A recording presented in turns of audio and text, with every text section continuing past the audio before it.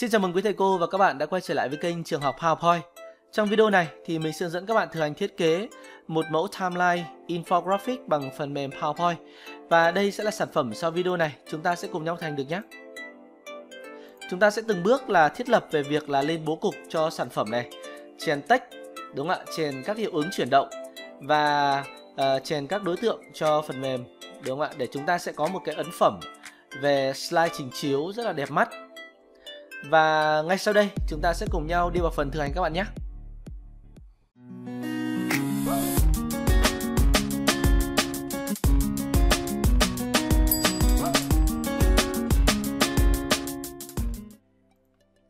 Việc đầu tiên là các bạn sẽ bật cho mình thanh thước và đường căn ở trong phần mềm PowerPoint. Chúng ta sẽ vào nhóm lệnh là View. Trong nhóm lệnh Show này, các bạn chọn cho mình là Ruler để chúng ta bật thanh thước và Guide để chúng ta bật đường căn. Tiếp tục là chúng ta sẽ loại bỏ những cái ô nhập text này đi. Các bạn đưa cho mình con trỏ chuột vào phần đường căn, chúng ta giữ phím Ctrl và chúng ta sẽ kéo để tạo thêm đường căn nhé. Cái việc mà chúng ta tạo ra những cái đường căn gióng thì nó sẽ giúp cho chúng ta thiết kế những cái ấn phẩm nó sẽ có một cái bố cục cân đối. À, tiếp tục là chúng ta sẽ đưa vào cái đường căn gióng theo chiều ngang chúng ta sẽ tạo ra các đường căn gióng trước khi chúng ta vào phần thiết kế slide. Tiếp tục là các bạn sẽ thay đổi cho mình cái phần à, hình nền này, chúng ta sẽ chuột phải, chọn vào phần là Format Background. Trong phần Pattern Fill này thì các bạn sẽ click chọn cho mình. Chúng ta sẽ chọn cái uh, họa tiết. Các bạn sẽ chọn cho mình họa tiết này nhé. Chúng ta sẽ chọn vào phần là Foreground này, các bạn chuyển cho mình cái màu sắc nó sẽ nhạt hơn một chút. Đó chúng ta sẽ có một cái phông nền với những cái đường căn uh, ờ, nét nhỏ hình ô vuông. Tiếp theo là chúng ta sẽ vào phần thẻ lệnh insert. Shape các bạn sẽ vẽ cho mình. Chúng ta sẽ chọn cái phần là uh, đối tượng này nhé trong phần line này. Chúng ta sẽ click chọn một điểm ở trên màn hình. Tiếp tục là các bạn sẽ kéo ra và chúng ta sẽ chọn thêm một điểm thứ hai. Và chúng ta sẽ kéo lên bên trên như này để tạo thành một cái đường đi lên và chúng ta click đúp chuột hai lần để chúng ta tạo ra một đường cong như này. Tiếp tục là các bạn vào phần Shape Outline, các bạn chọn cho mình là phần à, Dash này nhé. Chúng ta sẽ chọn là các ờ, đường ờ, dấu gạch chấm nhỏ như này. Chúng ta sẽ tăng cái kích thước cho cái đường kẻ này bằng cách là vào phần Way này, chúng ta sẽ chọn vào phần là 6. Các bạn chuột phải chọn cho mình vào phần là Format Shape này. Trong phần là Line này nhé, các bạn chọn cho mình trong phần Line này chúng ta sẽ chọn vào phần là ờ, uh, cap tip này để chúng ta chọn. Các bạn chọn cho mình là uh, row này chúng ta sẽ chọn là row này. Đó. Và trong phần này thì chúng ta sẽ chọn vào phần dấu chấm này. Chúng ta sẽ chọn cái tỷ lệ này nhé là roundos này. Đó. Thì nó sẽ chuyển thành hình tròn cho chúng ta. Và các bạn sẽ tăng cho mình trong phần width này là tăng cái độ độ dày lên. Đó. Tiếp tục là chúng ta sẽ đổ màu sắc cho cái đường kẻ này bằng cách là các bạn chọn cho mình là gradient line này. Đó.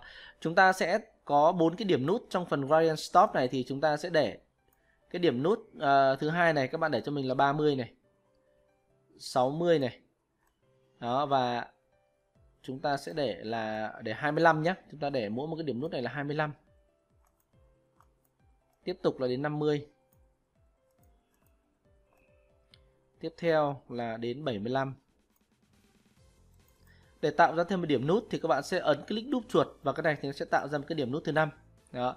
Tiếp tục là chúng ta sẽ tiến hành đổ màu sắc cho các đối tượng bằng cách là ấn vào phần color này. Chọn à, uh, eyedropper này, chúng ta sẽ đổ màu sắc cho các đối tượng. Chúng ta sẽ chấm màu vào bảng màu. Chút nữa thì các bạn có thể tải cái bảng màu sắc ở phía bên dưới phần mô tả của video nhé. Trong phần direction này các bạn chọn hướng cho mình nhé là từ dưới lên trên. Đó. Tiếp tục là chúng ta sẽ đổ màu sắc tiếp vào từng cái điểm nút. Rồi, như vậy là chúng ta đã đổ màu sắc xong. Trong phần shape outline này thì các bạn chọn cho mình trong phần around này, chúng ta sẽ chọn là hình mũi tên nhé. Đó, ở trên đầu này thì chúng ta sẽ có một hình mũi tên. Tiếp tục là chúng ta vào insert Shape các bạn chọn cho mình là hình oval. Và để vẽ được hình tròn thì các bạn giữ cho mình là phím Ctrl cộng Shift này, để chúng ta vẽ hình tròn này.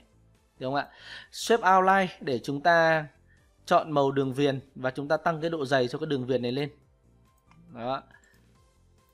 Với màu sắc ở phía bên trong thì các bạn chọn shape fill để chúng ta chuyển về màu trắng nhé. Chúng ta ấn Ctrl D để chúng ta nhân đôi thêm một hình nữa. Và với hình được nhân đôi này thì chúng ta sẽ bỏ đường viền. Và shape fill thì các bạn đổi cho mình thành màu da cam chúng ta sẽ giữ phím shift này và chúng ta kéo cái đường tròn này nhỏ lại một chút, nằm ở bên trong của đối tượng này. Với đối tượng hình tròn trắng này thì các bạn chuột phải chọn cho mình format shape chúng ta sẽ vào phần là line, các bạn tăng cho mình cái độ dày của cái đường viền này lên. Chúng ta sẽ để là 8 nhé, độ dày là 8 đó. Rồi tiếp tục là các bạn sẽ quét chọn cho mình qua hai đối tượng này. Chúng ta sẽ ấn Ctrl G để gộp nhóm lại với nhau và chúng ta giữ phím Shift để thu nhỏ lại cái hình tròn này.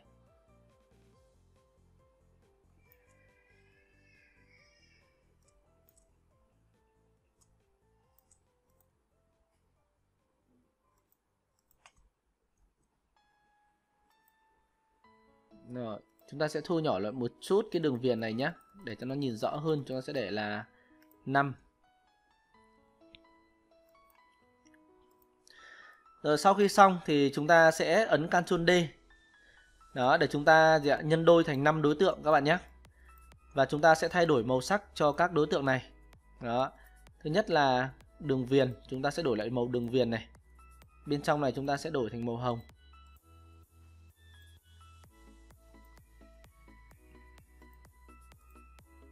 Rồi, bảng màu đã có sẵn rồi thì chúng ta chỉ việc là gì ạ? đơn giản là chúng ta thay đổi theo những cái màu sắc chúng ta đã có sẵn.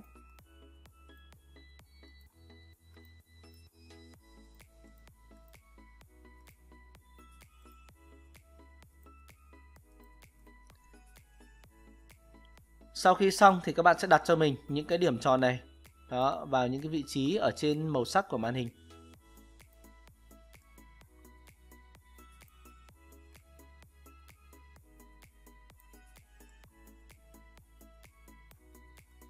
Như vậy là chúng ta sẽ có 5 cái điểm nút các bạn nhé.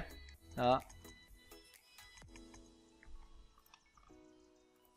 Tiếp tục là chúng ta sẽ vào phần thẻ Insert này. Shape các bạn chọn cho mình là hình ờ, chữ nhật nhé. Đấy, có điểm góc bo tròn này. Sau đó là chúng ta sẽ quét chọn một đối, một đối tượng trên màn hình. Với cái điểm nút thì chúng ta sẽ ấn vào cái điểm nút có hình màu vàng này để chúng ta kéo để bo cái điểm góc này. Và chúng ta ấn vào phần Shape Outline, các bạn sẽ bỏ cho mình đường viền là No Outline đó chúng ta sẽ thu nhỏ lại một chút các bạn nhé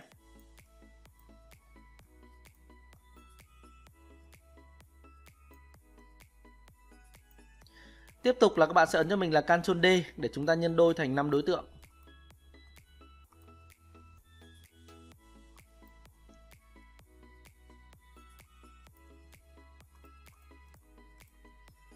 online để chúng ta căn chỉnh lại.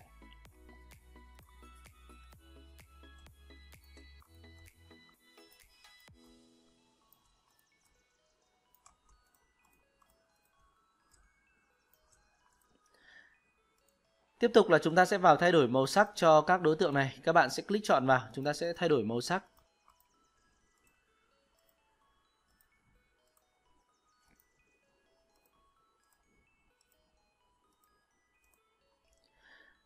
Tiếp theo là các bạn sẽ vào phần Insert Shape để chúng ta vẽ một hình tròn.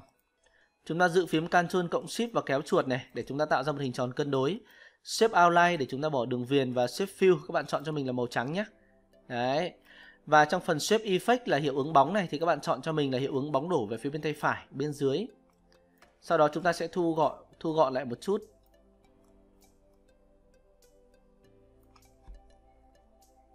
Chúng ta sẽ ấn Ctrl D để chúng ta nhân đôi lên.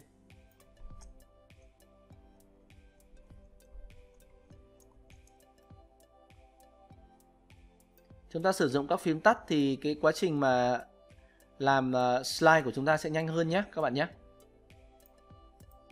Rồi, như vậy là chúng ta đã xong những cái phần này. Và các bạn sẽ vào phần insert này, vào phần icon này. Đó, các bạn sẽ chọn cho mình là icon ờ, về phần ờ, business. Đấy, mình sẽ chọn 5 cái icon ở đây.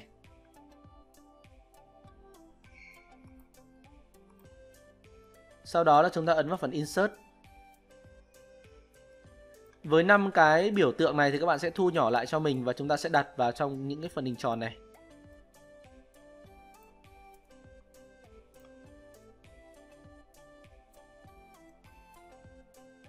Với các biểu tượng mà đang có màu đen như này thì các bạn sẽ click chọn vào, chúng ta vào phần là Graphic Fill nhé. Thì chúng ta cũng sẽ thay đổi màu sắc theo đúng cái màu sắc của các đối tượng ở phía bên dưới.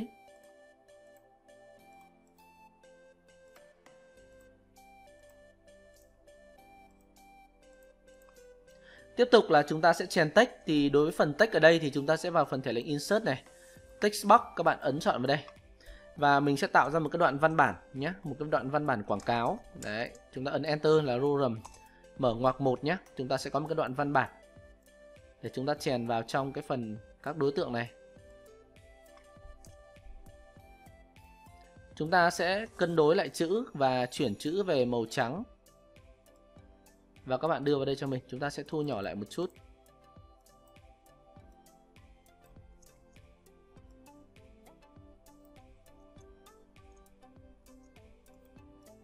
Và chúng ta sẽ đặt vào các vị trí này cho nó cân đối.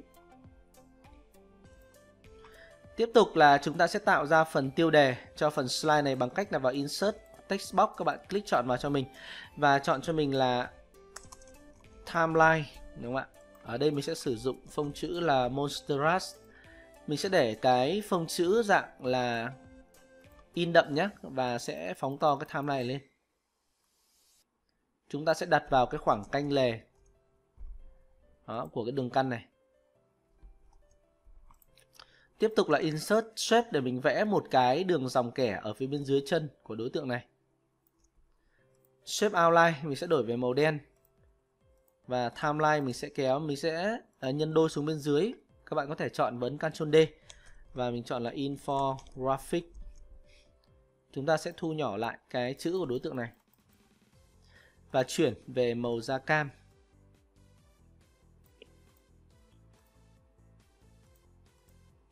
Và tạo thêm một cái đoạn văn bản ở phía bên dưới để mô tả cho việc này.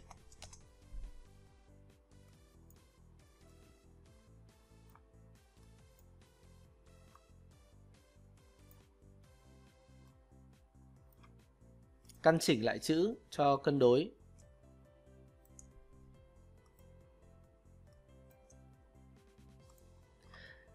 Sau khi mà chúng ta đã uh, thiết lập xong về các đối tượng thì uh, các bạn sẽ tạo ra cho mình vào ờ, uh, Ctrl D nhé thì chúng ta sẽ uh, nhập cái số 5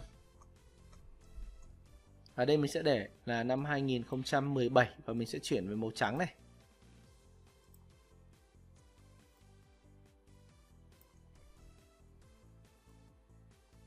Tiếp tục là 2018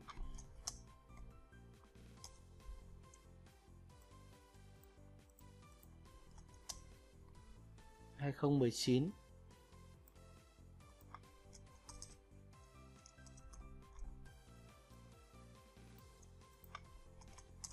2020 và 2021 Rồi, sau khi mà chúng ta đã xong các đối tượng ở trong slide này thì các bạn sẽ quét chọn cho mình nhé. Chúng ta sẽ quét chọn này, các đối tượng này. Các bạn ấn cho mình là Ctrl G để chúng ta gộp nhóm các đối tượng này làm một này. Tương tự bên dưới này, chúng ta cũng sẽ ấn Ctrl G. Đó, khi chúng ta gộp vào thành một nhóm rồi thì các bạn sẽ dễ để chúng ta cài đặt các hiệu ứng gọi là animation chuyển động cho đối tượng nhé. Đó. Và sau đây thì chúng ta sẽ tiến hành phần cài đặt các hiệu ứng chuyển động cho từng đối tượng ở trong này. Thì các bạn sẽ chọn cho mình vào phần là thẻ Animation này. Chúng ta chọn vào các đối tượng nhé. Đó, các bạn chọn cho mình là uh, Split này. Đấy. Tiếp tục là chúng ta sẽ chọn các đối tượng khác. Infographic là Flat In. Các bạn mở cho mình bảng Animation Pane này. Chúng ta sẽ xem lại các đối tượng này. Rồi. Các bạn chọn vào các đối tượng này cho mình nhé. Chúng ta sẽ để ở chế độ là Start with Previous này. Đó, Start after Previous. Uh, ờ, start after Previous là gì ạ? Sau khi mà cái đối tượng kia được chạy thì chúng ta sẽ chọn nhé. Start with Previous. Các bạn để cho mình phần delay này là ra đằng sau. Chúng ta sẽ xem lại các hiệu ứng này. timeline xuất hiện này và đến phần infographic đó. rồi tiếp tục là đến các đối tượng ở trong slide đúng không ạ cái phần mũi tên đầu tiên thì các bạn sẽ chọn cho mình là phần width nhé đấy. Sau đó là đến các đối tượng này, chúng ta sẽ chọn vào phần là zoom cho mình nhé tiếp tục là đến các đối tượng này, chúng ta sẽ chọn vào đây. Sau khi mà chúng ta cài đặt được các hiệu ứng cho các đối tượng này rồi, thì à, các bạn sẽ chọn vào đây cho mình nhé là cái biểu tượng của năm 2017 này. Chúng ta sẽ chọn là uh, Start After Preview này nó sẽ tự động chạy. Rồi sau đó là chúng ta sẽ chọn vào các đối tượng đã được cài đặt hiệu ứng này. Các bạn chọn cho mình cái chổi là Animation Pane chúng ta sẽ quét chọn định dạng lên các đối tượng tiếp theo để chúng ta tiết kiệm thời gian. Đấy, chúng không phải cài đặt nhiều nhé. Đó. Animation Pane chúng ta quét chọn lên. Thì các bạn sẽ thấy là gì ạ? Nó sẽ đánh cái ký tự xuất hiện. Đấy, cho các uh, đối tượng này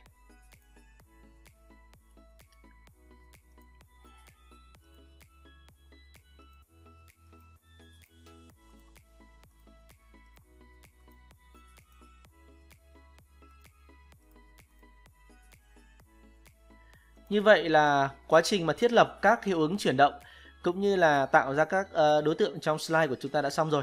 Thì sau đây các bạn sẽ cùng xem lại cái ấn phẩm mà mình vừa mới thực hành nhé. Các bạn ấn vào phần là F5 là phím tắt, hoặc là ấn vào nút slide show nhé để chúng ta xem sản phẩm nào.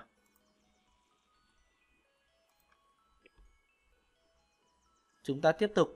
Rồi.